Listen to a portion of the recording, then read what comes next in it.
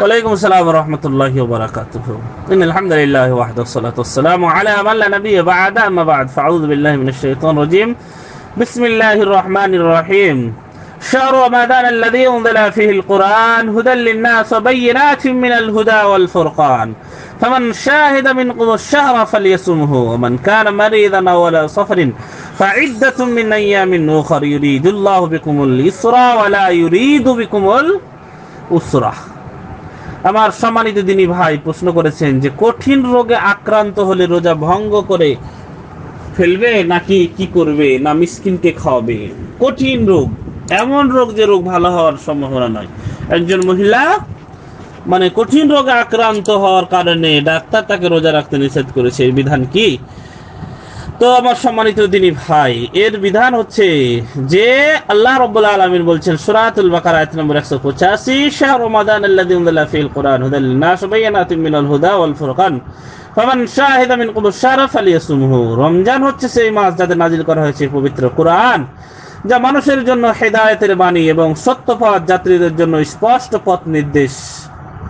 আর ন্যায় ও অন্যায়ের মাঝে পার্থক্য বিধানকারী। কাজেই তোমাদের মধ্যে যে লোক এই মাসটি পাবে, সে এ মাসের রোজা রাখবে। আর যে লোক অসুস্থ অথবা মুসাফির অবস্থায় থাকবে, সে অন্য দিন গণনা পূরণ করে নেবে।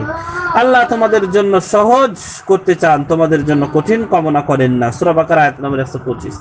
অর্থাৎ মানুষ যদি এমন রোগে আক্রান্ত হয়, যা থেকে সুস্থ হওয়ার কোনো আশা নেই এইবারও অনেকেই ভাই ব্যক্তিগতভাবে জানেছেন যে ভাই এরকম ব্যাপার? গত রমজান পারিনি রমজানও মনে হয় যে পারব না। তো কি করার? করণীয় কি? তো তাদের ক্ষেত্রে এটাই যে, প্রতিদিনের বিনিময়ে একজন করে মিসকিনকে খাদ্য খাওয়াবে। খাদ্য দেওয়ার পদ্ধতি হচ্ছে মিসকিনকে পরিমাণ মতো চাউল প্রদান করা, সাথে মাংস ইত্যাদি তরকারি হিসেবে দেওয়া উত্তম, অথবা দুপুরে বা রাতে তাকে একবার খেতে দেবে। এটা হচ্ছে ওই রুগীর ক্ষেত্রে যার সুস্থ হওয়ার কোনো সম্ভাবনা নেই।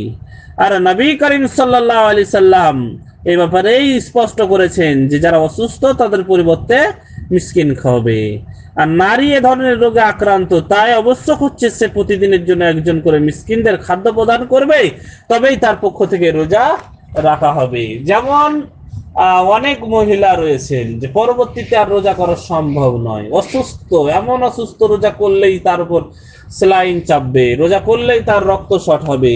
ডাক্তারের পরামর্শ যে রোজা রাখা যাবে না।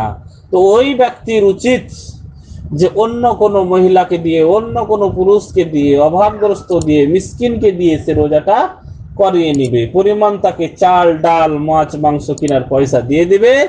সে পূর্ণ এক মাস তার পয়সাতে খাবে।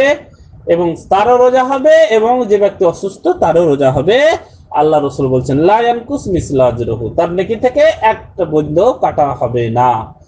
সেও নাকি পাবে, যার জন্য রোজা করছে সেও নাকি পাবে। আশা করি বুঝতে পেরেছেন ভাই। জাজাকুমুল্লাহ খাইরান ও আহসান আল জাজা আসসালামু আলাইকুম ওয়া রাহমাতুল্লাহি ওয়া বারাকাতুহু।